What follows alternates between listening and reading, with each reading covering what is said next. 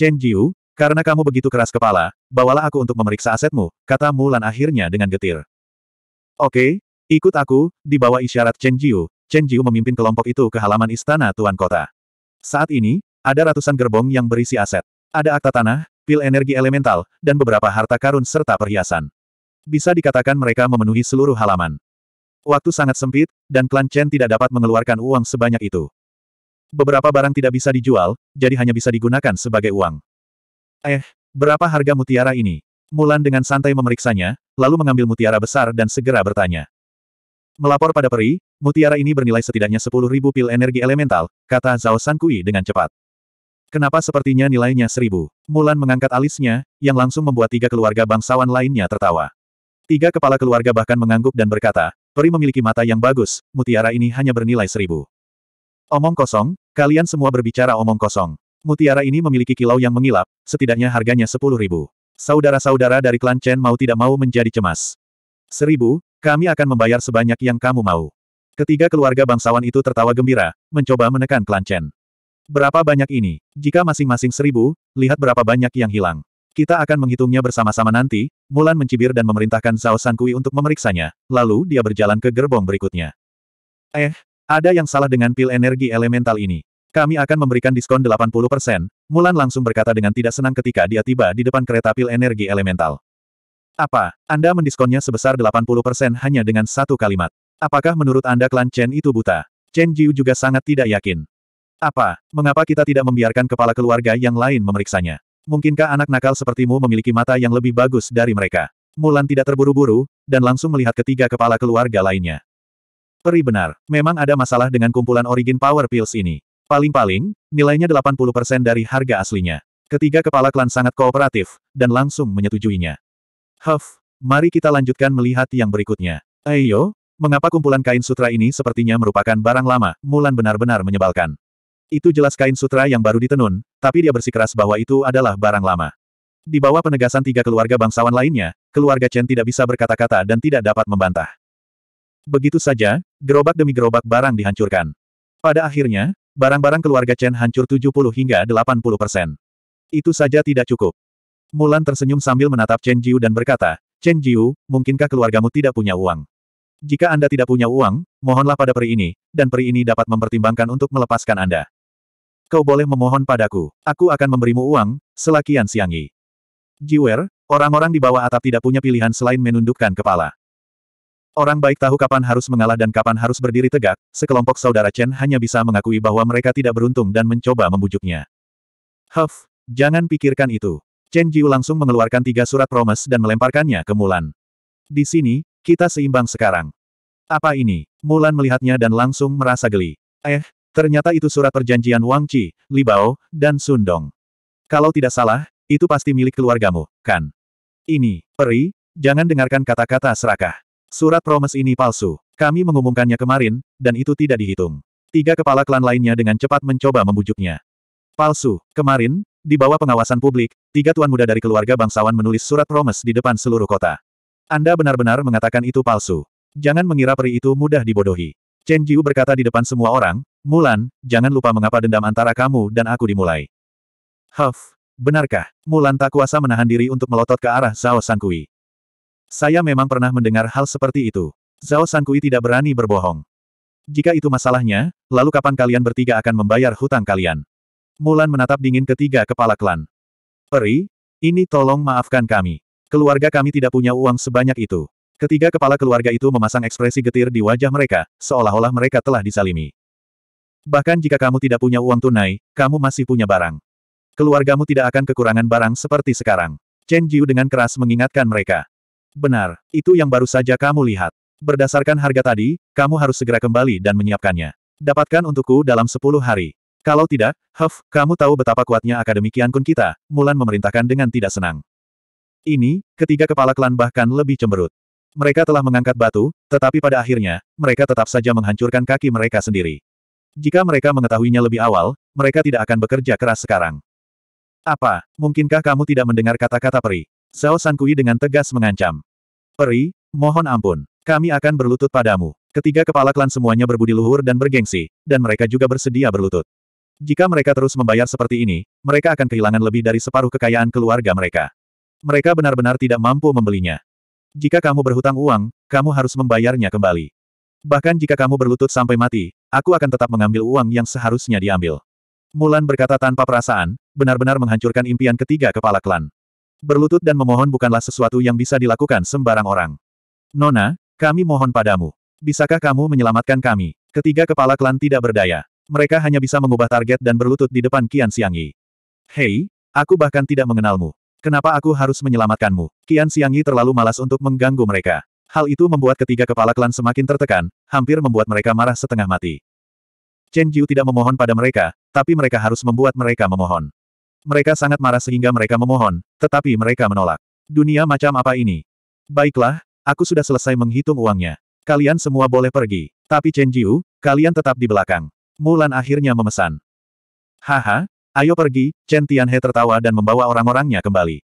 Saat dia berjalan, dia bahkan melontarkan beberapa komentar sinis. Saat ini, beberapa orang benar-benar pelit. Tapi pada akhirnya, mereka tidak akan mendapatkan akhir yang baik. Chen Tianhe, siapa yang kamu bicarakan? Tiga kepala klan lainnya memelototinya dengan marah.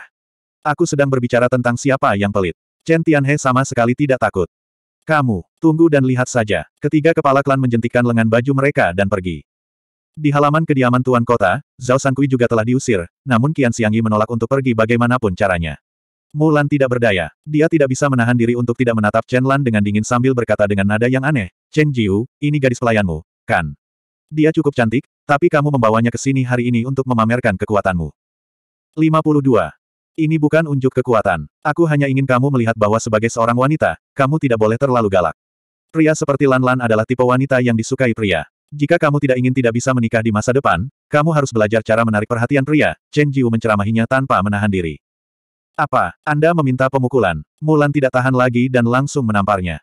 Jalang, itu sudah cukup. Menghadapi serangan Mulan, Chen Jiu segera meraih pergelangan tangannya. Dia memelototinya dan berteriak, apakah kamu sudah cukup menimbulkan masalah? Kamu harus menghemat energi untuk menghadapi orang-orang licik itu.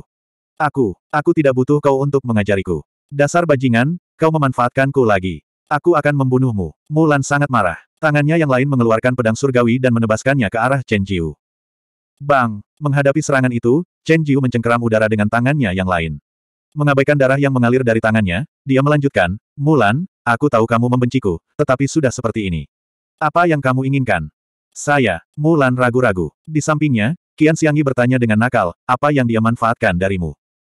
Ah! Mulan menjadi marah karena malu. Dia menunjuk ke arah Chen Jiu dan berteriak, Chen Jiu, aku akan membunuh seluruh keluargamu. Aku akan bertanggung jawab atas tindakanku sendiri. Jika kamu punya kemampuan, datanglah padaku. Bahkan jika aku mati di sini hari ini, aku tidak akan menyesal, kata Chen Jiu dengan nada mendominasi. Jangan bunuh Tuan Muda. Jika Anda memiliki kebencian di hati Anda, bunuhlah Lan Lan. Lan Lan rela mati demi Tuan Muda. Mulan juga setia pada tuannya. Dia tidak menyangka hal itu akan menimbulkan ketidakpuasan Mulan. Bagus, pelayan yang setia. Awalnya, Aku akan membunuh kalian berdua dan membiarkan kalian pergi ke mata air kuning bersama.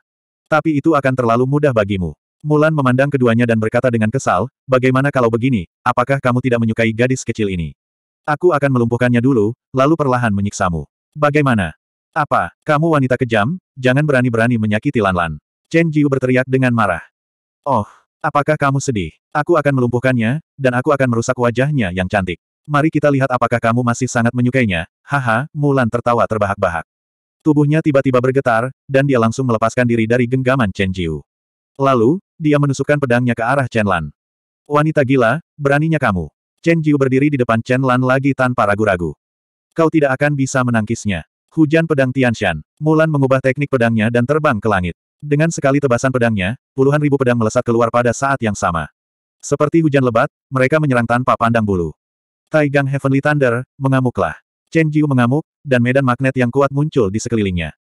Di medan magnet, sambaran petir yang tak terhitung jumlahnya berpotongan, dan guntur bergemuruh, menghancurkan semua hujan pedang gunung langit. Oh, sungguh dahsyat. Mulan juga terkejut. Kemudian, dia meningkatkan kekuatannya lagi. Gemuruh. Kali ini, hujan pedang semakin deras. Seolah-olah ratusan gunung Tai menekan ke bawah. Tidak mungkin untuk menghentikannya. Dari sini, terlihat bahwa Mulan masih menahan diri. Retak, menggunakan seluruh kekuatannya, Chen Jiu tidak bisa lagi menghadapinya dengan mudah.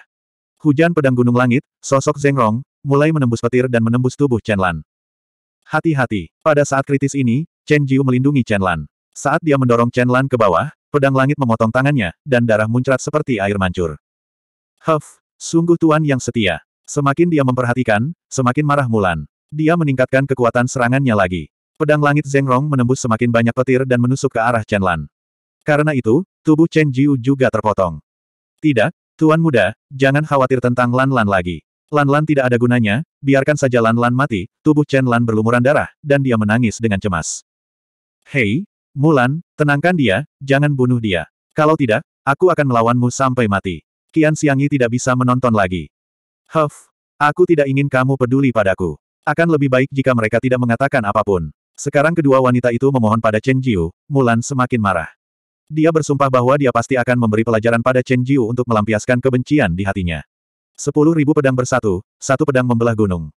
Sepuluh ribu pedang berkumpul dan berubah menjadi pedang besar seukuran gunung. Itu megah dan tajam hingga ekstrim. Momentumnya cukup untuk membelah gunung dan urat bumi, mengubah geografi. Tidak, Mulan, kamu wanita gila, kamu benar-benar akan membunuhnya seperti ini. Kian Xiangyi khawatir. Sayangnya, budidayanya terlalu rendah, jadi dia tidak bisa membantu.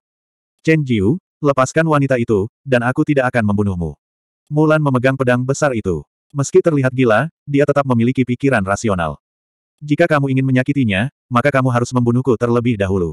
Chen Jiu pantang menyerah. Dia tentu saja tidak akan menyerah pada Mulan. Baiklah, kalau begitu aku akan mengirimmu ke neraka. Mulan sangat marah. Dia mengatupkan giginya dan menusuk dengan pedangnya. Seolah-olah matahari, bulan, dan bintang telah muncul. Pedang ini agung dan agung, mengandung kekuatan untuk membelah langit. Sudah berakhir, sudah berakhir. Chen Jiu, jika kamu mati, jangan salahkan aku. Siapa yang menyuruhmu untuk tidak memohon padaku? Kian Xiangyi tercengang, wajahnya dipenuhi kesedihan. Dewa ular hantu naga, melahap. Menghadapi serangan ini, Chen Jiu tidak berani ceroboh. Dia segera memfokuskan pikirannya dan memanggil Dewa Ular Hantu Naga. Tiba-tiba, Dewa Ular Hantu Naga yang nyata dan kokoh muncul di halaman. Tubuhnya ditutupi sisik, dan giginya yang tajam terlihat. Sosoknya jahat dan dingin, membawa serta angin dingin. Sosoknya tampak seperti baru saja keluar dari neraka. Sambil meraung, dia membuka mulutnya yang besar dan langsung meludahkan pedang besar itu, menyebabkannya menghilang. Iya, pedang gunung surgawi yang kuat telah menghilang secara diam-diam ke dalam perut dewa ular hantu naga tanpa menimbulkan gangguan sedikitpun. Apa, teknik iblis macam apa ini? Mulan kaget. Dia tidak bisa menahan diri untuk mundur karena ketakutan. Mulan, karena kamu seorang wanita, aku sudah menyerah padamu berkali-kali. Jangan gagal untuk mengetahui apa yang baik untukmu dan sia-siakan usahaku. Chen Jiu menegur dengan marah dan mau tidak mau menjadi bersemangat dan berpuas diri. Ya, Chen Jiu baru menyadari bahwa dirinya memiliki modal yang bisa dibanggakan. Alasan dia mampu melahap pedang besar itu bukan karena betapa kuatnya Dewa Ular Hantu Naga, tapi karena maksud pedang kesendirian. Niat pedang kesendirian telah langsung dikeluarkan dari tubuh Chen Jiu melalui sungai energi asal, membentuk wujud sejati Dewa Ular Hantu Naga. Di dalam Dewa Ular Hantu Naga, bagaimana maksud pedang kesendirian bisa membiarkan niat pedang lain menghancurkannya? Hanya dengan sedikit gerakan, ia segera menyerap pedang gunung surgawi, menyebabkannya tidak dapat melakukan apa pun. Karena mereka berdua mengolah pedang Dao, Chen Jiu benar-benar yakin bahwa maksud pedang kesendirian ini adalah nenek moyang dari pedang Dao. Dengan kultivasi Mulan yang masih muda, dia pasti tidak akan bisa menandinginya. Alhasil, dia tidak lagi takut. Dengan Solitude Sword Inten ini, dia praktis tak terkalahkan melawan para ahli Sword Dao. 53. Opo-opo, kamu bersikap lunak padaku. Di langit, wajah cantik Mulan juga dipenuhi dengan keterkejutan saat dia berkata, kau hanya bajingan yang boros. Apa aku ingin kau bersikap lunak padaku? Sembilan pedang gunung surgawi, pedang penusuk pelangi. Suara mendesing. Pedang itu menembus langit, dan pelangi tiba-tiba muncul di langit. Ia segera tertusuk oleh energi pedang, dan pelangi mengembun menjadi pedang tujuh warna. Ia menembus langit dan bumi, dan dengan suara gemuruh yang keras, ia melesat ke arah Chen Jiu seperti meteor yang jatuh ke bumi, sangat dahsyat. Kamu melebih-lebihkan dirimu sendiri. Telan. Di hadapan pedang pelangi, Chen Jiu dipenuhi dengan keyakinan. Dengan raungan ringan, pedang pelangi mengejutkan yang dapat menghancurkan gunung dan menghancurkan lautan ditelan oleh Dewa Ular Hantu Naga. Fluktuasi tirani itu langsung padam. Bagus, ini lebih seperti pembunuh naga. Qian Xiangyi, yang berdiri di samping, berulang kali memuji. Dia tidak bisa tidak memuja Chen Jiu. Awalnya, setelah menyelidiki Chen Jiu dan mengetahui bahwa budidayanya biasa-biasa saja, dan bahwa dia adalah anak para dewa yang ditinggalkan, Qian Xiangyi merasa bahwa dia telah ditipu, dan ingin memberinya pelajaran. Tapi sekarang, Melihat kekuatan ilahi yang tiba-tiba, dan mampu menekan perimulan, dia tidak bisa menahan perasaan berbeda di dalam hatinya. Pria ini memang menyembunyikan kekuatannya, dan dia sangat lembut terhadap wanita. Ia rela bertahan dan tidak bertengkar dengan wanita. Dia benar-benar teladan yang baik bagi pria. Gadis kecil itu tiba-tiba mendapat kesan yang baik padanya, dan karena hubungan intim mereka, wajahnya menjadi sedikit merah. Dia tanpa sadar berdiri di sisi Chen Jiu, dan mulai menentang Mulan. Mulan, kamu sudah selesai. Awalnya aku tidak ingin bertengkar denganmu, dan kamu cukup kasar untuk meminta uang. Aku sudah memberikannya padamu, apalagi yang kamu inginkan. Chen Jiu, berlumuran darah, dengan marah menatap Mulan dan menegurnya dengan keras. Kamu pikir kamu ini siapa? Hak apa yang kamu miliki untuk mengendalikanku? Mulan sangat marah. Dia sekali lagi mengayunkan pedangnya dan berteriak, sembilan pedang gunung surgawi, kombinasi pedang ganda. Wash wash, di langit, dua pedang surgawi tiba-tiba muncul, satu yin dan satu yang. Begitu mereka bergabung, aura mereka meledak dan mengguncang sembilan surga. Tidak ada gunanya tidak peduli berapa banyak kamu yang datang, kata Chen Jiu dengan nada menghina. Membunuh. Kombinasi pedang ganda dapat membunuh iblis, dan menghancurkan gunung dan sungai. Jika tidak ada yang menghalanginya, serangan ini akan cukup untuk mengubah rumah tuan kota menjadi reruntuhan, dan semua makhluk hidup. Raungan, kombinasi naga dan ular, dengan naga iblis dan wajahnya yang ganas, seolah-olah itu adalah dewa neraka yang tak terkalahkan. Ia membuka mulutnya, mulutnya yang mengerikan, giginya yang mengerikan, dan menelan kombinasi pedang ganda menjadi pedang. Bagaimana? Bagaimana ini mungkin? Chen Jiu hanya seorang prajurit tingkat lima. Bagaimana dia bisa bertarung melawan peri Mulan, yang telah mengembangkan pedang Raja Gunung Surgawi tingkat sembilan? Keributan yang begitu besar tentu saja membuat Zhao San Kui khawatir. Dia menyaksikan adegan ini dari jauh, dan juga tercengang. Dia tidak bisa mempercayainya. Mulan, terimalah kenyataan. Kamu bukan tandinganku. Jika kamu terus bertarung seperti ini, kamu hanya akan mempermalukan dirimu sendiri, Chen Jiu dengan ramah menasihatinya lagi. Kau, jangan pernah berpikir tentang itu. Bagaimana mungkin Mulan rela kalah dari seorang pria bercelana sutra? Awalnya dia ingin mencari masalah dengan Chen Jiu, tetapi dia tidak menyangka bahwa Chen Jiu akan membalikkan keadaan padanya. Jika dia kalah hari ini, dia merasa bahwa dia tidak akan punya muka untuk bertemu dengan siapa pun di masa depan. Hatinya mengeras, dan dia langsung berteriak lagi, sembilan pedang dari Gunung Surgawi, bentuk kedelapan, pedang menggerakkan awan. Ledakan, pedang terangkat, dan langit dan bumi berguncang. Pedang Mulan ditembakkan, dan yang mengejutkan, pedang itu mengumpulkan kekuatan awan di langit, mengubahnya menjadi pedang surgawi. Ia memiliki sikap seorang raja, memerintah dunia, membelah langit dan bumi, dan menghancurkan para dewa dan Buddha. Itu terlalu kuat. Apa? Gerakan tingkat raja. Serangan ini cukup untuk menghancurkan separuh kota. Kian Xiang Yi kaget. Percuma saja, Chen Jiu acuh tak acuh. Dia dengan tenang berteriak, hilang, ini sudah berakhir. Mengaum. Kali ini, Dewa Ular Hantu Naga benar-benar berinisiatif menelan pedang tersebut. Itu seperti seekor ular yang menelan seekor gajah. Ia membuka mulutnya lebar-lebar, seolah memiliki kekuatan untuk menelan langit dan bumi. Dalam sekejap, ia menelan pedang awan surgawi bersama Mulan ke dalam perutnya. Kamu mendekati kematian. Mulan memegang pedang dan bergegas ke mulut Dewa Ular Hantu Naga tanpa ragu-ragu. Dia tidak punya niat untuk melarikan diri. Gemuruh, gemuruh perut Dewa Ular Hantu Naga keroncongan beberapa kali, lalu ia membuka mulutnya dan muntah. Mulan, yang sudah terluka parah, tidak bisa menahan muntah lagi. Dia jatuh ke tanah dan duduk tanpa daya. Dia menatap Dewa Ular Hantu Naga, tidak dapat menerima hal ini. Mulan, kamu sudah kalah. Chen Jiu perlahan berjalan di depan Mulan, memandang rendah dia seperti kaisar agung yang sedang memeriksanya. Huff, kenapa kamu tidak membunuhku saja? Mulan menatap Chen Jiu dengan penuh kebencian.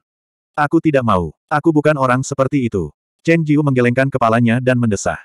Kalau begitu, apa maksudmu aku punya hati yang beracun seperti kala jengking? Tanya Mulan dengan marah. Tentu saja tidak. Mulan, aku tahu kamu memiliki kebencian di hatimu, tapi aku sudah menahannya berkali-kali. Kenapa kamu tidak membiarkanku pergi saja? Lagi pula, masalah ini sebenarnya bukan dimulai karena aku. Tidak bisakah kamu melihat? Chen Jiu mencoba membujuknya lagi. Dia sudah mengatakan ini lebih dari sekali, tapi wanita ini tidak mengerti. Dia tidak berdaya. Pemenang mengambil segalanya. Karena aku sudah kalah, kamu bisa melakukan apa pun yang kamu mau padaku. Kamu tidak perlu membicarakan prinsip-prinsip besar denganku. Aku tidak mengerti. Mulan dengan keras kepala menolak mendengarkan penjelasannya. Bahkan jika kamu tidak membunuhku hari ini, aku akan tetap membunuhmu di masa depan. Menganggap niat baik sebagai niat buruk. Menurutku wanita seperti ini harus dibunuh. Kian Xiangyi tiba-tiba menyela. Tapi dia dari Akademi Kosmos. Jika kamu membunuhnya seperti ini, akan sulit menghindari masalah. Chen Jiu, kamu harus mempertimbangkan ini dengan hati-hati. Mulan, nikahi aku. Kata-kata Chen Jiu sangat mengejutkan. Kata-katanya menyebabkan ketiga wanita itu menjadi pucat karena terkejut. Opo-opo, Anda ingin menikahi wanita gila ini. Apa yang kamu pikirkan? Dasar bodoh, apakah kamu tidak takut dia akan menikahmu di tempat tidur? Mata Kian Xiangyi membelalak. Tentu saja, dia tidak percaya. Beberapa saat yang lalu, mereka bertarung sampai mati. Sekarang, mereka membicarakan tentang cinta, pernikahan, dan memiliki anak. Meskipun pikiran Kian Xiangyi aneh, dia masih tidak bisa menerima perubahan sebesar itu. Mulan, aku tulus. Kenapa kamu tidak mempertimbangkannya? Chen Jiu dengan tulus memandang Mulan, kata-katanya penuh dengan cinta. Mulan, tidak peduli apakah itu penampilan atau temperamennya, dia adalah dewi di hatinya. Alasan dia bisa datang ke benua kosmos adalah karena dia telah melakukan masturbasi dengannya. Sekarang dia memiliki hubungan yang kuat dengannya, Chen Jiu tidak tega berpisah dengannya. Hanya dengan menikahinya dia bisa menyelesaikan masalah ini. Apa pun dendamnya, apa pun kebenciannya, selama mereka menjadi pasangan, maka semua konflik mereka akan menjadi konflik internal keluarga. Seperti kata pepatah, pertengkaran di kepala ranjang akan berdamai di ujung ranjang. Saat itu, Chen Jiu tidak percaya dia tidak akan mampu menaklukkan peri cantik ini. 54. Anda benar-benar mencintaiku. Mulan bisa merasakan ketulusan cinta Chen Jiu. Dia merasa curiga. Cinta seperti ini datang dari hati. Lembut dan tahan lama, seolah-olah telah terakumulasi selama bertahun-tahun. Roar, hantu naga dan dewa ular memasuki tubuhnya. Semburan energi asal mengguncang tubuh tinggi Chen Jiu, dan dia mengeluarkan dua suap darah di tempat. Kamu, apakah kamu baik-baik saja? Kamu hampir mati, tetapi kamu tetap tidak lupa menjemput gadis-gadis. Kamu benar-benar romantis. Kian Xiangyi memperhatikan dari samping. Dia merasa sangat tidak nyaman, dan mulut kecilnya yang lucu cemberut. Sayang, Mulan, aku sangat mencintaimu. Aku harap kamu bisa memberiku kesempatan. Aku tidak akan mengecewakanmu. Chen Jiu berkata dengan tegas. Melihat Chen Jiu mengaku dan batuk darah, Mulan merasakan sedikit emosi. Namun ketika dia melihat ke arah dua gadis di sampingnya, dia langsung menjadi marah dan berteriak, jika kamu ingin menikah denganku, bunuhlah mereka. Coba aku lihat tekadmu. Apa, kamu wanita gila, lelucon macam apa ini? Kian Xiangyi melompat ketakutan. Dia dengan cepat mundur selangkah dan menatap Chen Jiu. Chen Jiu, kamu tidak akan benar-benar membunuhku, kan? Bagaimana menurutmu? Chen Jiu tersenyum sinis. Dia ingin menakuti Kian Xiangyi. Ah, Jangan bunuh aku, aku akan menikahimu. Jangan bunuh aku, dan jangan nikahi dia. Lagi pula, tidak masalah siapa yang kamu nikahi. Lagi pula, jika aku berkembang beberapa tahun lagi, aku tidak akan lebih buruk darinya. Kata-kata Kian Xiangyi sungguh mengejutkan. Kata-katanya membuat Chen Jiu tercengang. Jika dia tahu sebelumnya, dia tidak akan membuatnya takut. Huff, Chen Jiu, hubungan seperti apa yang kamu miliki dengannya? Mulan bertanya. Aku bahkan belum memegang tangan kecilnya. Bagaimana menurutmu? Chen Jiu merasa telah dianiaya. Kamu bahkan belum memegang tanganku, dan aku bersedia melunasi hutangmu. Apakah kamu mencoba membodohi hantu? Mulan mencibir dan berkata, kamu tidak perlu berhayal. Mengapa kamu tidak melihat statusmu sebagai Chen Jiu? Hak apa yang kamu miliki untuk melamarku? Biar ku beritahu, aku lebih suka menikahlah dengan babi atau anjing daripada menikah denganmu.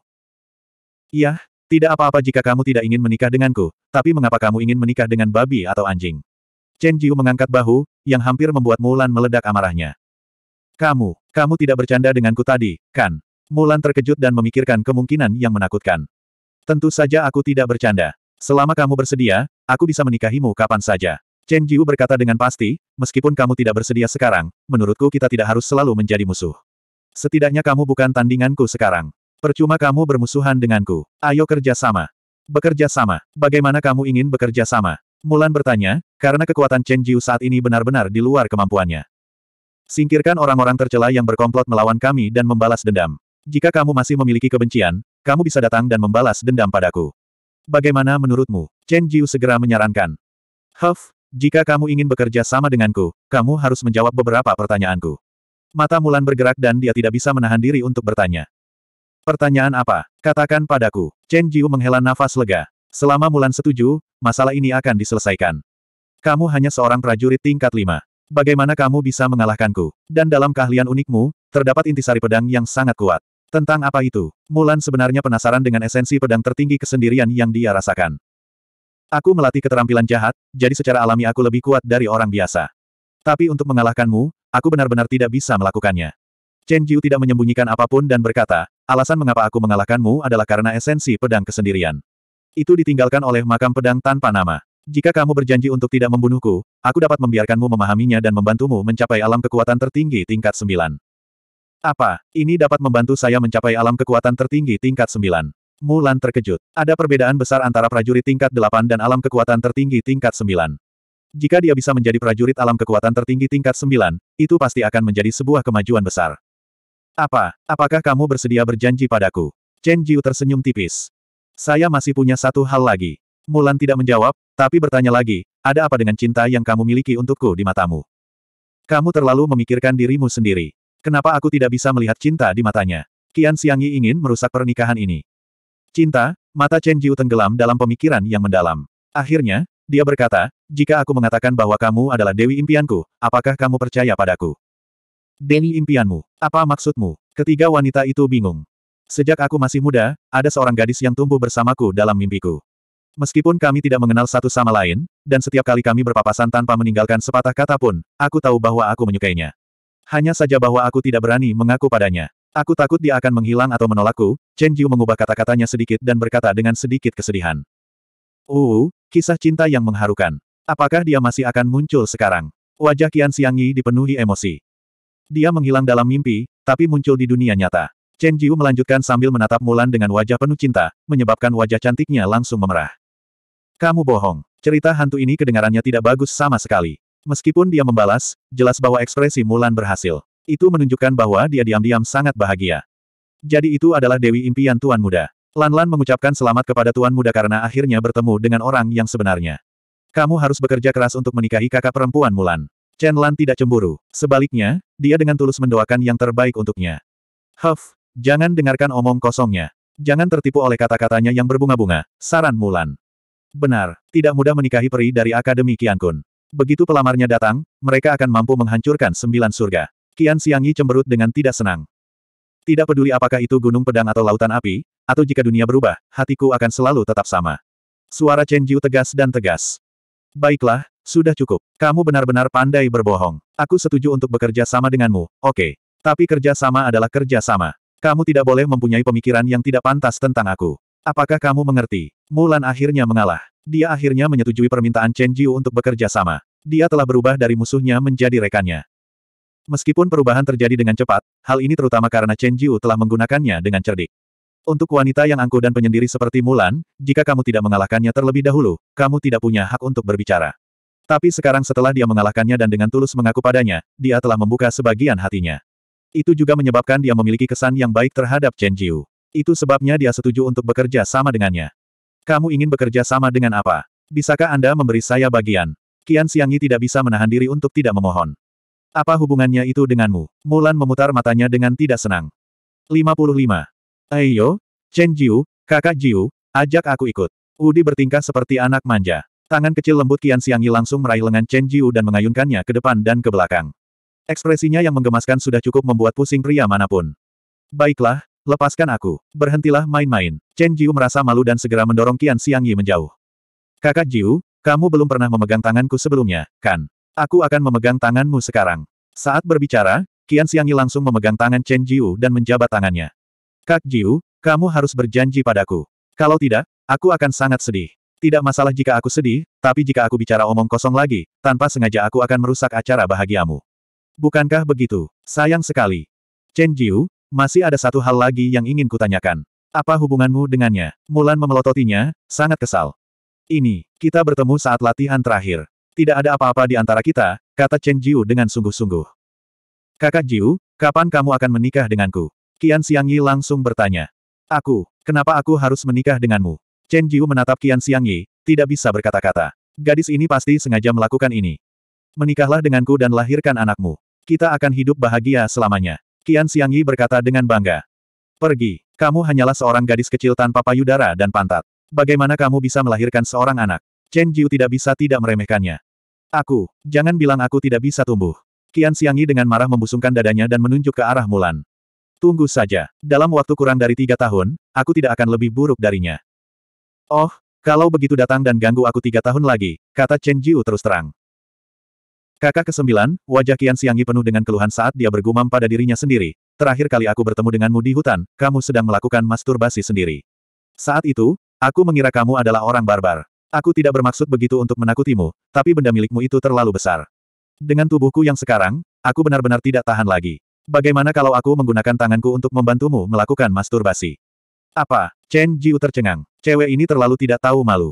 Bagaimana dia bisa mengatakan sesuatu? Chen Jiu, Iblis perak yang tak tahu malu ini, aku benar-benar salah menilaimu. Huff. Mulan tidak tahan lagi dan langsung pergi. Mulan, tunggu sebentar, biar ku jelaskan, tidak peduli seberapa keras Chen Jiu berteriak, itu sia-sia. Mulan pergi dengan marah tanpa menoleh ke belakang. Hehe, biadab, apakah kamu tidak akan menyetujui permintaan Siu ini? Di masa depan, Siu ini akan mencari masalah denganmu setiap hari sehingga kamu tidak akan bisa merayu seorang peri. Kian Xiangyi tersenyum sinis. Kamu, dari mana asalmu, gadis liar? Apa kamu tidak punya pekerjaan lain? Jika kami ingin membunuh seseorang, apakah Anda harus pergi juga? Chen Jiu sangat marah, tapi dia tidak bisa berkata-kata. Membunuh seseorang. Tentu saja, aku belum pernah membunuh siapa pun sebelumnya. Qian Xiangyi tampak sangat tertarik. Apakah kamu tidak takut aku akan membunuhmu? Chen Jiu menunjuk ke arah Qian Xiangyi dan tiba-tiba menegurnya dengan ekspresi dingin. Ayo, jangan terlalu galak. Kakak kesembilan, aku sangat menyukaimu. Tidak bisakah kamu mentolerir gadis yang menyukaimu? Qian Xiangyi dengan cepat bertindak seolah dia dianiaya dan bertindak genit. Dalam benaknya, pria ini memiliki perasaan lembut terhadap kaum hawa. Biasanya, dia tidak akan mendekati wanita. Namun, Qian Xiangyi salah. Chen Jiu biasanya tidak suka bertengkar dengan wanita, tetapi jika dia dipaksa terpojok, dia juga akan memburu mereka dengan kejam.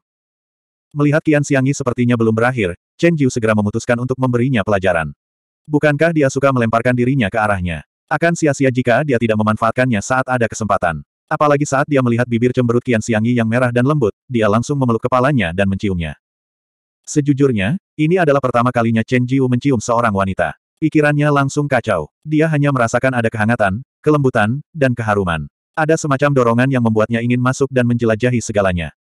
Emem, jelas sekali ini adalah pertama kalinya Kian Xiangyi dipeluk dan dicium oleh seorang pria. Dia sedikit linglung, dan setelah secara naluriah menolaknya, dia benar-benar membuka sedikit gigi putih mutiaranya. Setelah itu, lidah mereka saling bertautan, bibir mereka terhisap, dan air liur mereka yang harum bergerak maju mundur. Keduanya saling berciuman, melakukan adegan ciuman yang mengharukan. Melupakan ruang dan waktu, Chen Jiu merasa menemukan semacam nektar manis yang lezat di mulut Kian Xiangyi.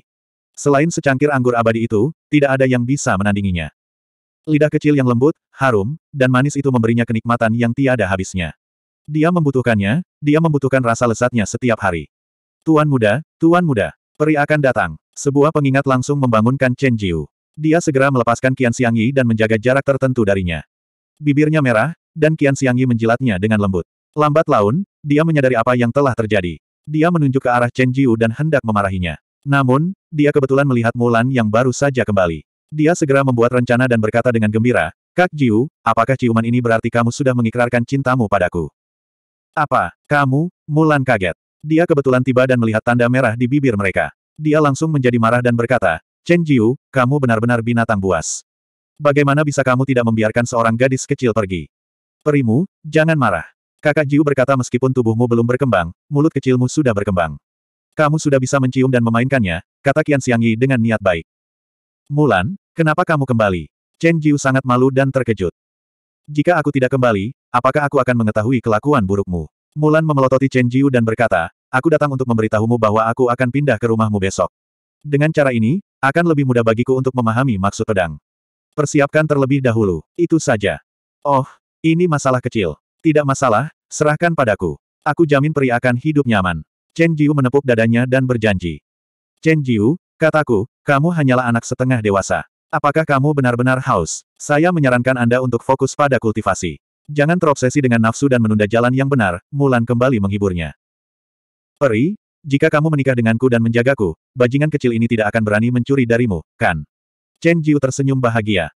Jangan pikirkan itu, Mulan berkata dengan marah, jangan pikirkan aku. Mustahil bagiku untuk memiliki perasaan yang baik padamu. Kamu hanyalah seorang anak kecil yang belum dewasa. Mengapa kamu memikirkan wanita sepanjang hari? Kamu benar-benar tidak melakukan pekerjaanmu. Mulan, aku benar-benar belum dewasa. Chen Jiu bertanya samar-samar dengan senyum jahat di wajahnya. Huff, aku tidak akan berbicara denganmu lagi. Aku pergi dulu. Cepat kembali dan bersiaplah untukku. Jangan khawatir, aku akan membayar biaya hidupku. Mulan mengatakan ini dan pergi dengan wajah merah. 56. Oh, ada masalah. Pasti ada rahasia di antara kalian berdua. Chen Jiu, jika kamu memberitahuku, aku tidak akan repot jika kamu menciumku. Kian Xiangyi sekali lagi mengancamnya.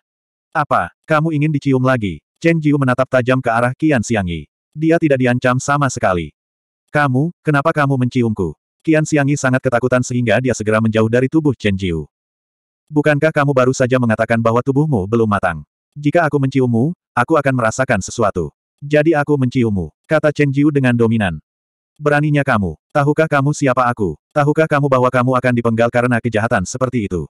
Kian Xiangyi dengan marah menegurnya. Lan Lan, ayo pergi. Di hadapan arogansi Kian Xiangyi, Chen Jiu menjadi semakin arogan. Dia langsung mengabaikannya dan pergi.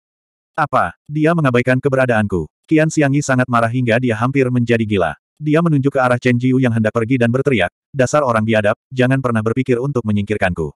Saya juga ingin tinggal di rumah Anda. Sebaiknya kamu bersiap. Putri, bajingan ini telah menyinggung atasannya. Mengapa Anda tidak membiarkan saya membunuhnya malam ini untuk melindungi reputasi putri? Pada saat ini, seorang wanita tua dengan jahat berjalan keluar. Pengajar negara Jili, bisakah kamu berhenti berkelahi dan membunuh tanpa alasan? Bukankah itu hanya ciuman? Aku tidak akan kehilangan sepotong daging pun. Apa masalahnya? Kian Xiangyi tidak peduli. Putri, tapi statusmu. Tidak, tapi, ini bukan urusanmu. Di masa depan, jika aku tidak memanggilmu, jangan keluar, Kian Xiangyi dipenuhi dengan kebencian. Orang barbar yang bau, tunggu dan lihat saja.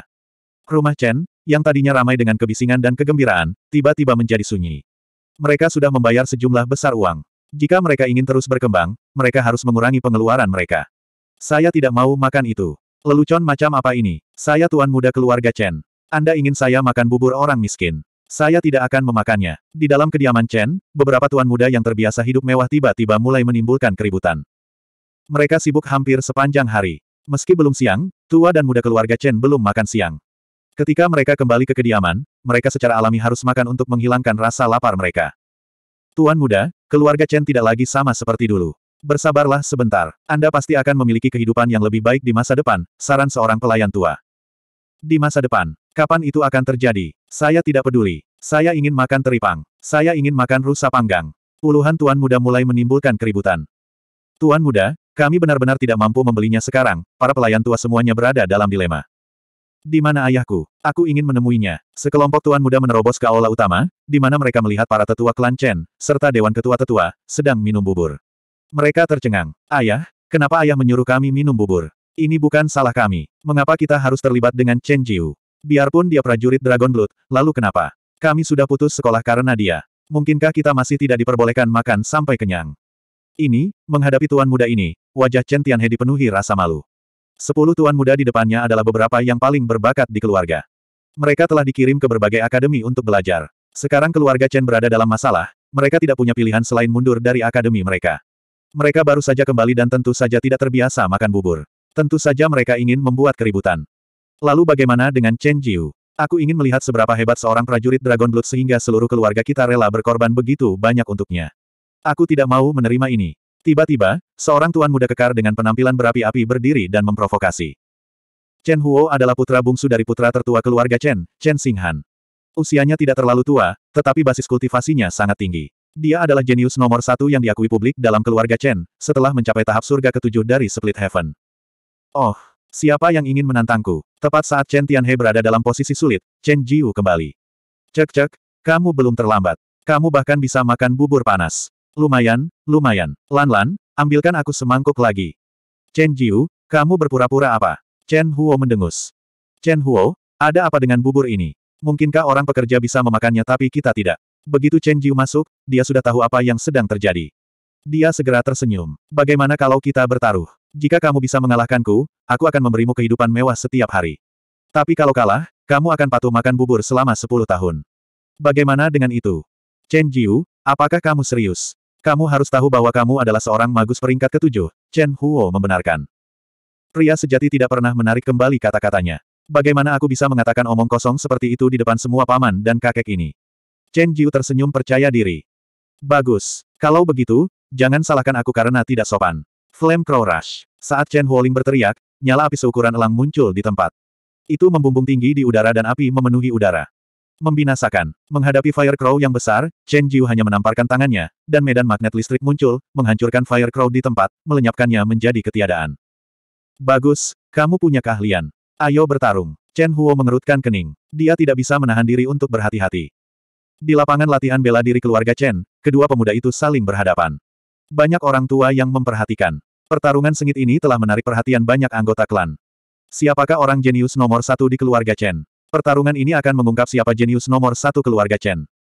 Chen Jiu, aku tidak punya waktu untuk membuang-buang waktu bersamamu. Jika kamu tidak bisa menahan seranganku, maka kamu bisa mati saja. Chen Huo langsung berteriak, gunung api meletus, muncul. Boom! Di dalam kehampaan, partikel api yang tak terhitung jumlahnya mengembun menjadi gunung berapi raksasa yang dipenuhi magma mendidih.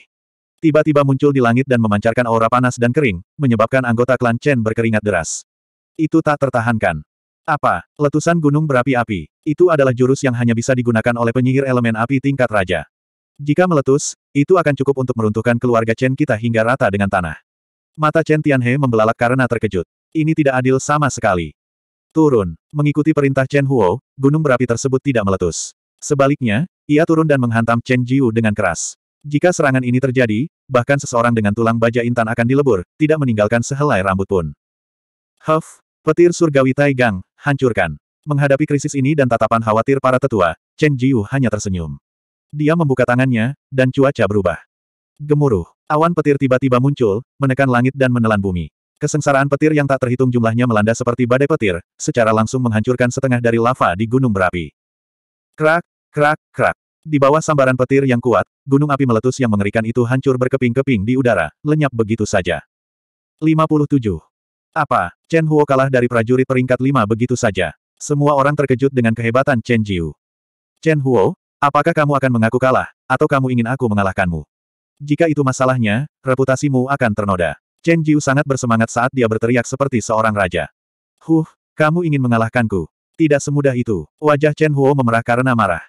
Dia segera melihat ke langit dan berteriak, Vulkan di atas, orang percayamu yang paling setia membutuhkan bantuanmu. Tolong berikan padaku api yang paling kuat dan hancurkan orang berdosa di hadapanku ini. Mendesis. Aliran keyakinan murni muncul, dan banyak partikel api misterius muncul entah dari mana di langit. Mereka murni dan cerdas, seperti peri kecil. Mereka berkumpul untuk membentuk raksasa api. Suci dan mulia, raksasa ini memiliki aura vulkan. Itu tinggi dan perkasa, memandang rendah semua makhluk hidup. Setiap orang yang berdiri di depannya merasa rendah diri. Mengaum. Vulkan itu meraung, dan api menyebar ke segala arah. Ia bahkan membakar kehampaan. Itu sangat kuat. Haha, Chen Jiu, jadi bagaimana jika kamu adalah prajurit darah naga? Saya percaya pada Dewa Api dan bisa meminjam kekuatan Tuhan. Kamu hanya seekor cacing, aku akan memanggangmu hidup-hidup, teriak Chen Huoniao. Dia merasa bahwa waktunya untuk mengangkat kepalanya akhirnya telah tiba. Menghadapi raksasa api raksasa, Chen Jiu berhati-hati, tapi dia tetap memarahi dengan nada menghina, sebagai manusia, kamu tidak tahu bagaimana menjadi kuat. Sebaliknya, kamu mengandalkan nafas para dewa untuk bertahan hidup. Biarkan mereka menjilat jari kakimu. Saya merasa malu karena penjilat seperti Anda telah muncul di keluarga Chen kami. Chen Jiu, aku ingin kamu mati. Chen Huo menjadi marah. Dia segera memberi perintah, dan raksasa api itu meraung saat menerkam ke arah Chen Jiu. Ke mana pun ia melewatinya, ruang angkasa akan terbakar menjadi cuka, dan tidak ada yang bisa bertahan. Itu sangat kuat. Guntur langit Taigang. Chen Jiu mengulurkan tangannya, dan awan petir turun dari langit. Itu membelah langit dan bumi, dan segera menyelimuti raksasa api itu. Sambaran petir yang tak terhitung jumlahnya menyambar tubuhnya. Mengaum. Pria itu sangat marah. Dia membuka mulutnya dan memuntahkan naga yang berapi-api. Itu melesat langsung ke awan petir dan menyulutnya, mengubah langit menjadi lautan api. Haha, ini adalah kekuatan dewa. Seorang pejuang peringkat kelima sepertimu tidak bisa melawannya. Kesombongan Chen Huo tidak terbatas. Benar-benar, Dewa Ular Hantu Naga, Chen Jiu mencibir dan segera menggunakan kartu truf aslinya. Mengaum. Dewa Ular Hantu Naga bersisik dan memiliki taring yang ganas. Seluruh tubuhnya jahat. Saat itu keluar, semua orang tidak bisa menahan keringat dingin. Manusia yang menyala-nyala itu adalah roh dewa dari surga, sedangkan hantu naga dan dewa ular adalah roh yin dari neraka. Kedua atribut mereka tidak kompatibel. Begitu mereka muncul, otomatis mereka menjadi musuh. Ledakan. Tak perlu dikatakan lagi, kedua makhluk besar itu telah saling menerkam. Untuk sesaat, api memenuhi udara dan energi jahat menyebar. Kedua dewa besar itu membuat langit menjadi kabut yang kacau. Itu adalah pemandangan yang menakutkan. Chen Jiu, jadi kamu tidak pernah menyerah dalam kultivasi ilmu jahat. Kamu, kamu tidak layak menjadi prajurit darah naga keluarga kami. Cepat atau lambat, kamu akan berubah menjadi iblis. Chen Huo tidak bisa menahan diri untuk tidak menuduh dan menjebaknya. Huff, apa yang jahat dan apa yang baik? Chen Jiu tertawa dingin. Tidak ada yang namanya baik atau jahat di dunia. Hanya karena ada kebaikan dan kejahatan di dalam hati manusia maka ada perbedaan antara benar dan salah. Saya, Chen Jiu, adalah roh yang gigih. Saya seorang manusia besi dan berdarah. Saya bertindak benar dan mengikuti aturan. Apakah saya baik atau jahat akan dinilai oleh langit dan bumi. Anda, Chen Huo, tidak punya hak untuk mengendalikan saya. Aku mungkin tidak bisa mengendalikanmu, tetapi seseorang akan bisa. Jangan terlalu sombong, dasar iblis jahat, balas Chen Huo dengan kejam. Cukup, saatnya mengakhiri ini. Teriak Chen Jiu, hantu naga dan dewa ular bersinar terang. Mereka membuka mulut dan menembakkan bola cahaya yang dipenuhi aura kesunyian dan kehancuran. Bola itu melesat ke arah pria yang terbakar itu dan menyebabkannya hancur. Sword of Solitude tidak hanya bisa menyerap Sword Will lainnya, tapi juga bisa digunakan untuk menghancurkan serangan lawan di saat kritis. Pedang kesendirian tertinggi ini hanyalah jurus pembunuh nomor satu. Saat ini, Chen Jiu merasa tidak bisa menahan amarahnya. Ledakan, manusia api yang telah diubah oleh para dewa menghilang. Karena itu, Chen Huo kehilangan banyak keyakinan dan semangat. Meminjam kekuatan dari para dewa sebenarnya berarti menawarkan esensi, energi, dan semangat diri sendiri yang telah dengan susah payah dikembangkan. Itu diubah menjadi semacam kekuatan keyakinan yang taat dengan imbalan kekuatan para dewa. Pada akhirnya, kekuatan para dewa adalah sesuatu yang biasa ditukarkan oleh para penyihir. Itu bukanlah sesuatu yang bisa dipinjam begitu saja. Lagi pula, tidak ada makan siang gratis di dunia ini. Para dewa juga tidak bodoh. Mengapa mereka membantu orang lain meningkatkan kekuatan serangan mereka tanpa alasan? Apa jurus lain yang kamu punya? Silakan gunakan. Chen Jiu berdiri dengan angkuh dan berteriak dengan bangga. Aku, aku kalah. Meskipun dia merasa tidak berdaya, inilah kebenarannya. Chen Huo tidak punya pilihan selain mengakuinya. Apakah, apakah dia benar-benar kalah? Semua orang sangat terkejut hingga wajah mereka menjadi pucat. Chen Jiu hanyalah prajurit tingkat lima, tapi dia benar-benar mengalahkan Chen Huo, yang telah meminjam kekuatan para dewa. Ini sungguh tidak terbayangkan. Untungnya, orang-orang ini tidak mengetahui bahwa Chen Jiu juga telah mengalahkan Mulan. Kalau tidak, mereka akan sangat terkejut hingga giginya tanggal. Baiklah, kalau begitu kami akan menepati janji. Sajikan buburnya, perintah Chen Jiu. Chen Lan segera menyajikan semangkuk bubur biasa. Bubur beras merahnya sedikit sepat dan tidak terlalu enak. Chen Huo memegang mangkuk di tangannya dan memandangi para tetua di sekitarnya. Dia merasa malu, tapi dia tetap mengambil mangkuk dan meneguk buburnya. Satu mangkuk bukanlah apa-apa. Chen Huo, kamu harus ingat bahwa batasmu adalah 10 tahun. Chen Jiu mengingatkannya. Tubuh tinggi Chen Huo tidak bisa menahan sedikit gemetar. Matanya dipenuhi kebencian. Haha, baiklah. Karena semuanya sudah ada di sini, aku akan membuat pengumuman. Chen Jiu memandangi para tetua di sekitarnya dan segera berkata, kebangkitan keluarga Chen sebenarnya tidak sulit. Saya sudah meminjam 100 miliar yuan. Apa yang hilang dari kami akan dikembalikan dalam beberapa hari. Apa, kamu, kamu menipuku. Ketika Chen Huo mendengar pengumuman Chen Jiu, dia sangat marah hingga dia muntah seteguk darah dan dadanya sesak. Aku tidak menipumu. Kaulah yang menantangku. Siapa yang bisa kamu salahkan dalam hal ini? Chen Jiu tersenyum tipis dan berkata, Chen Huo, di masa depan, saat kita makan daging dan ikan, jangan iri. Koki akan memberimu perlakuan khusus di masa depan. Kamu akan merasa terhormat. Hahaha, pada saat ini, tuan muda lainnya tidak bisa menahan tawa bahagia. Orang-orang ini tidak berperasaan dan tentu saja tidak akan bersimpati dengan pengalaman Chen Huo. Kamu, kita lihat saja nanti. Chen Huo bingung dan jengkel. Dia segera menjentikkan lengan bajunya dan pergi. Keponakan Jiu, di mana uangnya? Kapan kamu akan memberikannya kepada kami? Ketika mereka mendengar ada uang yang harus diambil, banyak penatua yang tidak bisa duduk diam. Bubur ini sungguh tidak menggugah selera. Jika ini terus berlanjut, mereka tidak akan bisa menikmatinya lagi. 58. Membelah. Apa aku bilang aku harus membaginya? Saya meminjam uang ini, jadi bagaimana cara membaginya? Kata-kata Chen Jiu selanjutnya membuat semua orang kesal padanya. Dia berkata dengan lantang, uang ini akan berada di bawah kendali ayahku di masa depan. Jika ada sesuatu yang harus dilakukan di masa depan, itu harus atas namanya. Apa, bagaimana kamu bisa begitu egois? Anda harus tahu bahwa Anda berhutang kepada kami, dan kami membayar semuanya untuk Anda. Untuk sesaat, banyak paman keluarga Chen yang sangat tidak puas. Paman, aku tidak ingin mengatakan hal-hal yang tidak menyenangkan. Tanyakan pada dirimu sendiri, apakah kamu benar-benar tulus membantuku membayar hutangku? Jika aku bukan Dragon Blood Warrior, lalu siapa yang bersekutu dengan Dewan Tetua Pendiri untuk mengusir kami? Chen Jiu sama sekali tidak sopan saat dia mengkritik pamannya atas kejahatan mereka. Bocah kecil, kamu sudah dewasa, bukan? Jangan bilang kamu ingin kami meminta maaf padamu. Kata Chen Xinghan dengan marah. Jika Anda ingin memberikan kompensasi, maka saya tidak keberatan. Menghadapi kritik Chen Xinghan, Chen Jiu dengan tenang menerimanya. Kamu, jika kami memberikan kompensasi kepadamu, maka kamu akan membagi uangnya dengan kami. Chen Yi yang menindaklanjuti. Selama mereka punya uang, mereka bisa menerima kompensasi. Kompensasi adalah sesuatu yang harus kamu lakukan. Berbeda dengan membagi uang, kata Chen Jiu tanpa ampun. Ayah, kamu harus menegakkan keadilan bagi kami. Saudara-saudara Chen memohon dengan putus asa kepada Chen Long dan yang lainnya. Jiwer. Tidak perlu mengatakan apa pun. Tidak ada ruang untuk berdiskusi. Saya sudah mengambil keputusan. Jika Anda tidak ingin menggunakan uang ini, maka Anda dapat kembali dan mengembangkan diri. Di masa depan, kami akan melakukannya lakukan saja urusan kita sendiri. Kata-kata Chen Jiu tegas, tidak menunjukkan muka kepada siapa pun. Chen Jiu, kamu, jangan berpikir bahwa kami tidak akan bisa bertahan hidup tanpamu. Ayo pergi, di bawah pimpinan Chen Xinghan, beberapa pamannya segera meninggalkan tempat kejadian. Mereka tidak ingin bergantung pada orang lain untuk bertahan hidup. Baiklah, aku berharap bisa mengandalkan diriku sendiri, kata Chen Jiu sambil segera menyerahkan tumpukan uang kertas yuan kepada Chen Tianhe. Saudara-saudara yang lain menatapnya dengan mata terbelalak. Lagi pula, mereka belum pernah mendapatkan uang sebanyak itu sepanjang hidup mereka. Ahem, Saudara-saudara, jika kamu punya ide, kamu bisa bicara denganku malam ini. Aku akan memberimu dukungan finansial, tapi bisnismu harus menjadi milikku. Chen Jiu bertekad untuk melaksanakan instruksi Chen Jiu. Dia telah mengetahui kelompok saudara ini, dan mereka hanya akan merasa nyaman jika uang itu atas nama mereka sendiri. Sebuah gunung tidak dapat memiliki dua harimau. Jika Anda ingin klan hidup dengan baik, maka Anda harus menerapkan sentralisasi kekuasaan patriark. Jika seorang patriark tidak memiliki kekuasaan absolut, lalu siapa yang mau mendengarkan Anda? Di masa lalu, klan Chen berkembang pesat. Meski berkembang pesat, namun kekurangannya tidak sedikit. Artinya, hati seluruh klan tersebar. Jika salah satu pihak mempunyai masalah, pihak lain tidak akan mau ikut campur. Hal ini sangat merugikan perkembangan jangka panjang klan. Sekarang, Chen Jiu menggunakan alasan melunasi utangnya untuk mengosongkan klan Chen.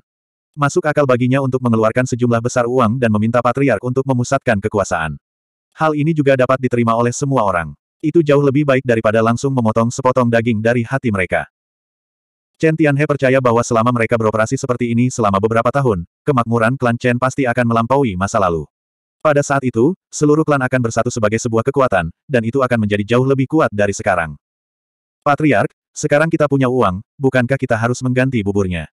Seorang tuan muda mau tidak mau bertanya. Semuanya, makan saja bubur hari ini. Besok, saya akan menambah jumlah makanannya dengan tepat, kata Chen Tianhe dengan wajah datar. Chen Tianhe, jangan pelit, oke. Okay. Jiwer meminjam uang ini. Setiap sen dan setiap sen harus digunakan dengan benar. Jika ada di antara kalian yang keberatan, kalian dapat belajar dari mereka dan mengembangkan diri kalian, Chen Tianhe kaya dan mengesankan. Saat dia berbicara, dia menjadi semakin bermartabat. Chen Jiu mengizinkan Chen Tianhe untuk menurunkan berat badannya saat dia membawakan Chen Lan untuk makan bubur. Kemudian, mereka kembali ke rumah masing-masing. Setelah mengatakan bahwa dia lelah, Chen Jiu pergi beristirahat sendirian. Tentu saja, dia tidak sedang tidur. Sebaliknya, dia membenamkan kesadarannya ke dalam cincin sembilan naga. Setelah beberapa kali bertarung, dia menyadari kekurangannya sendiri. Ketika dia menemukan naga raksasa itu, dia langsung bertanya, apakah sembilan lima punya jurus hebat? Saya ingin menukarnya. Yang disebut jurus besar adalah jurus besar yang hanya bisa digunakan oleh prajurit peringkat tujuh. Kekuatan dari gerakan seperti itu bisa menjungkir balikan langit dan bumi. Itu sangat kuat sehingga cukup untuk mengintimidasi suatu wilayah. Hantu naga dan dewa ular bisa menolak gerakan besar, tapi itu hanya gerakan besar prajurit peringkat tujuh. Melawan prajurit peringkat delapan mulan, jika bukan karena niat pedang itu, Chen Jiu merasa dia pasti akan kalah. Tentu saja ada. Jurus besar bertahan, jurus besar menyerang, jurus terbang besar, jurus besar formasi melarikan diri. Yang mana yang kamu inginkan? Naga raksasa itu bertanya dengan serius. Banyak sekali. Bertahan, menyerang, terbang, aku butuh semuanya. Chen Jiu sekarang memiliki poin prestasi yang cukup. Dia merasa jika dia tidak mempersenjatai diri, dia akan mengecewakan langit. Penyihir dan pejuang percaya pada dewa dan bisa bertukar kekuasaan dengan mereka. Meskipun Chen Jiu mengolah energi unsur, dia bisa menukar segalanya dengan naga raksasa. Dia merasa bahwa dia hanyalah seorang pejuang di antara para penanam energi unsur. Di masa depan, dia pasti akan bersinar terang di benua Qiankun dan mengguncang dunia. Keyakinan dan ambisinya membengkak tanpa batas. Saat Chen Jiu sedang berfantasi tentang masa depannya yang indah, kata-kata dingin naga raksasa itu memadamkan api di hati Chen Jiu. Tuan, dengan energi unsurmu saat ini, kamu hanya bisa menukarkannya dengan satu jurus besar.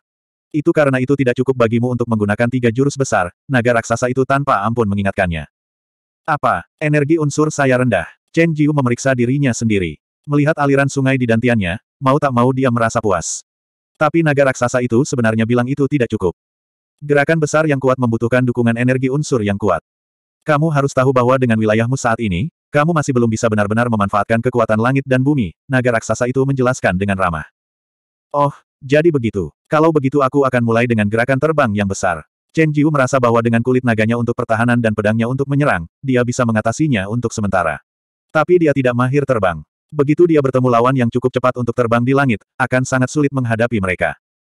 Baiklah Tuan, jika Anda ingin menukar jurus terbang besar, sayap Dewa Naga, Anda perlu mengeluarkan seribu poin prestasi. Apakah Anda yakin ingin menukarnya? Iya, aku akan menukarnya. Mengikuti suara Chen Jiu, mulut dan hidung naga raksasa itu sekali lagi memuntahkan untaian hukum naga.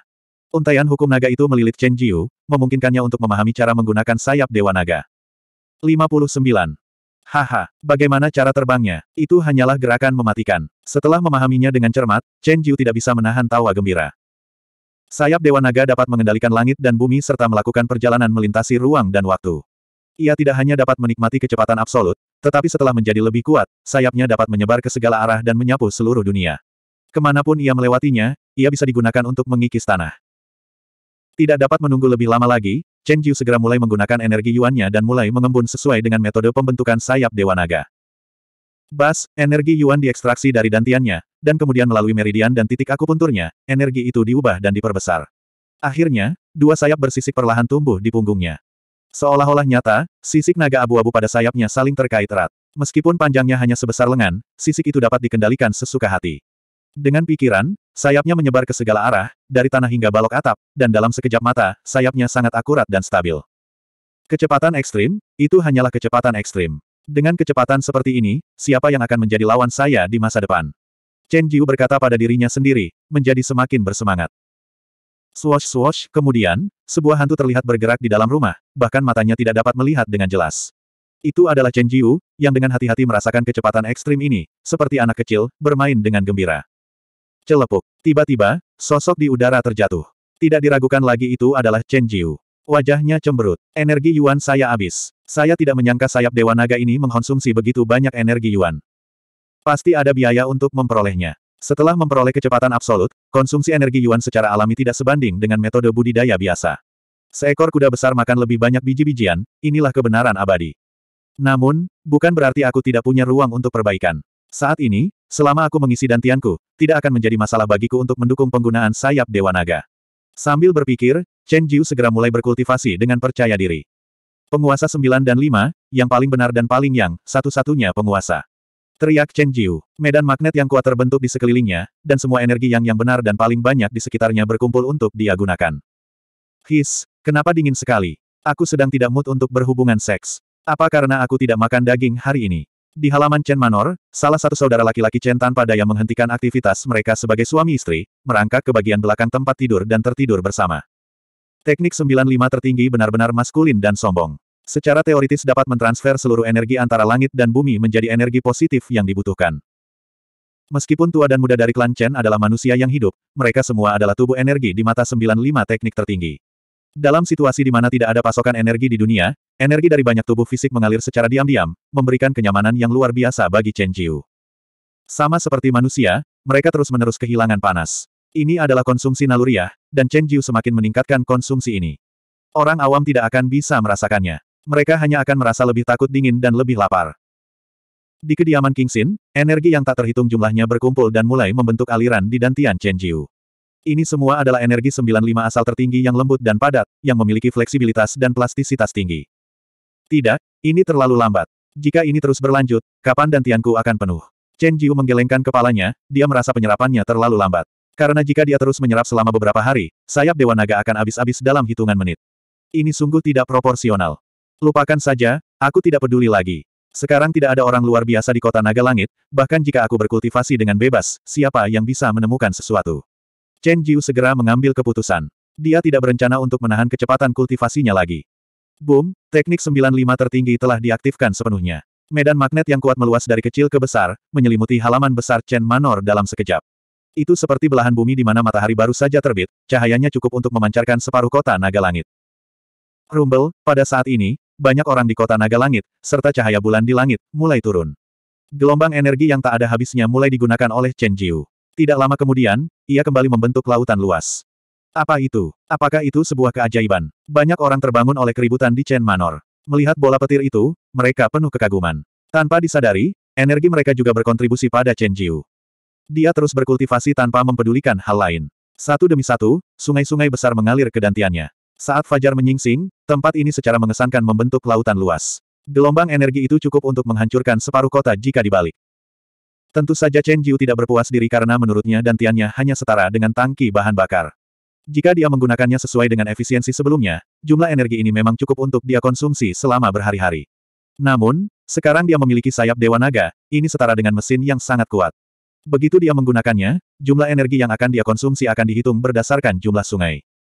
Langit akan cerah. Semua orang tertidur lelap. Hilangnya energi berkurang, dan cahaya bulan juga menghilang. Chen Jiu tidak punya pilihan selain menyerah dalam berkultivasi dan tidur siang sebentar.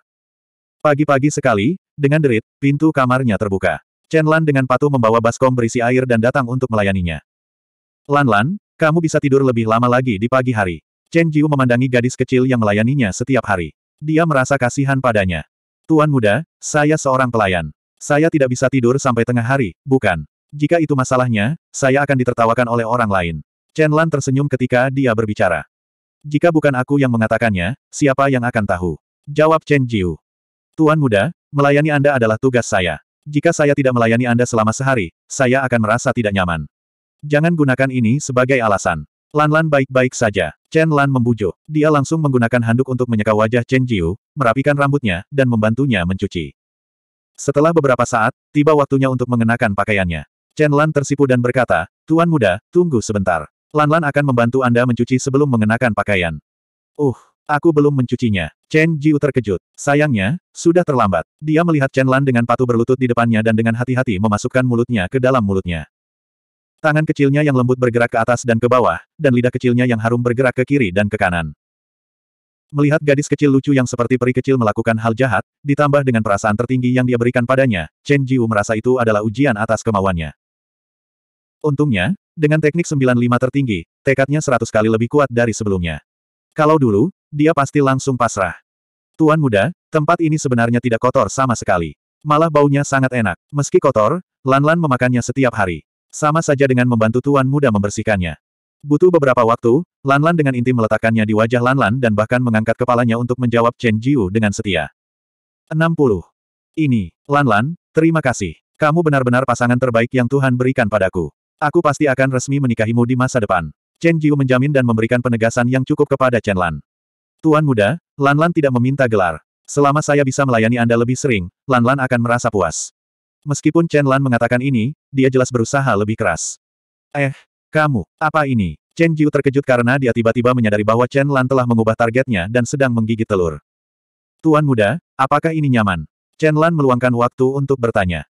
Nyaman, tapi saya belum mencucinya. Chen Jiu merasa malu.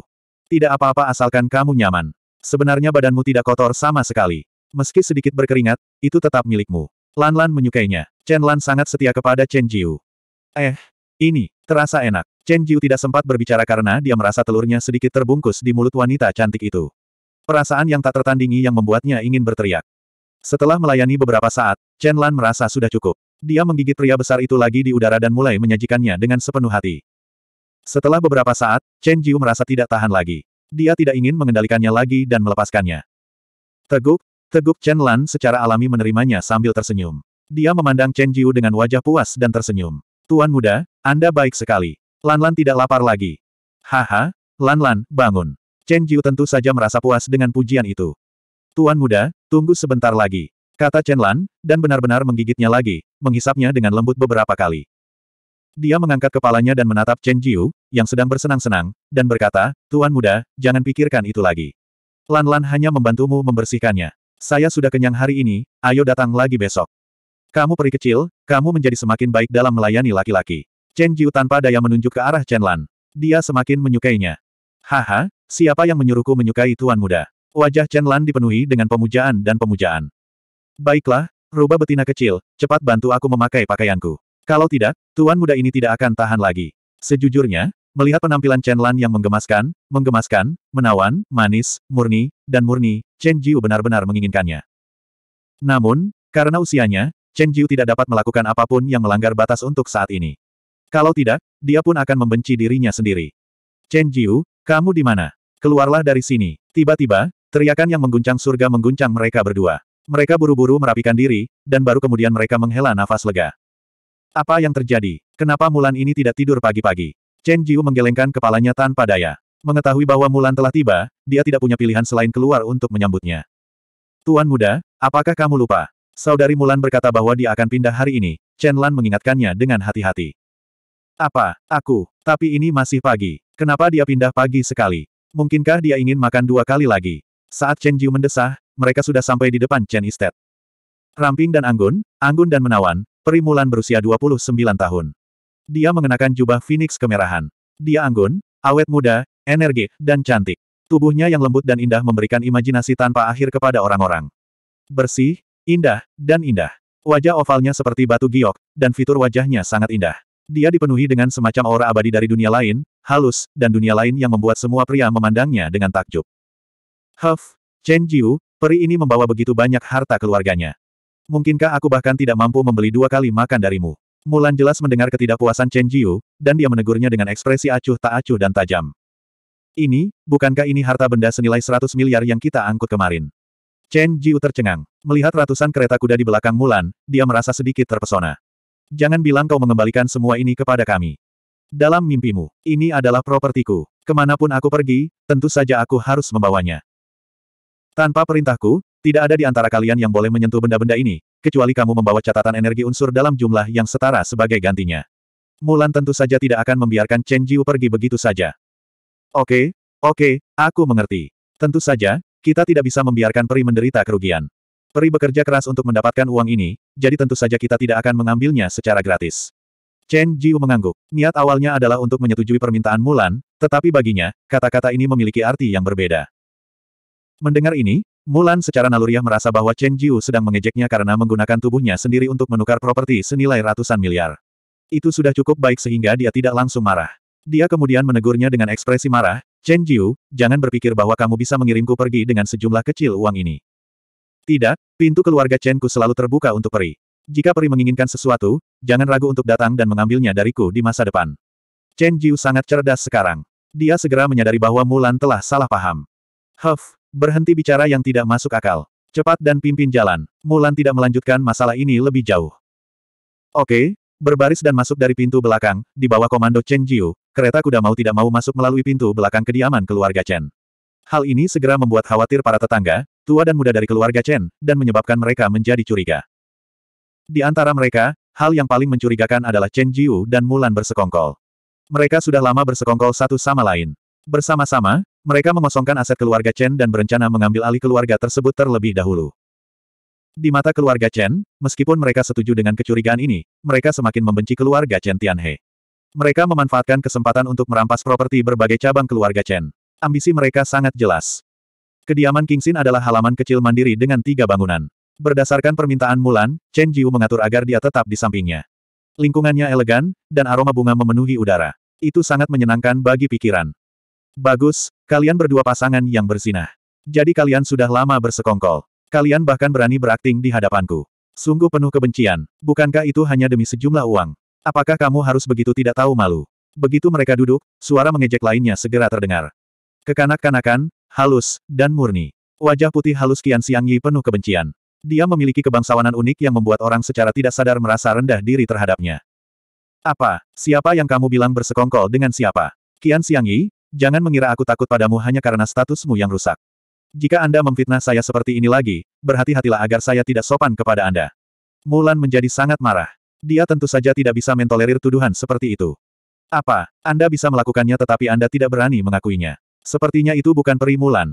Kian Xiangyi menatap Mulan dengan kejam. Ayo, coba kulihat. Anda sudah tinggal di halaman yang sama, tetapi Anda masih tidur di kamar terpisah. Siapa yang kamu coba bodohi? Siapa tahu, Mungkin kalian akan kabur bersama malam ini.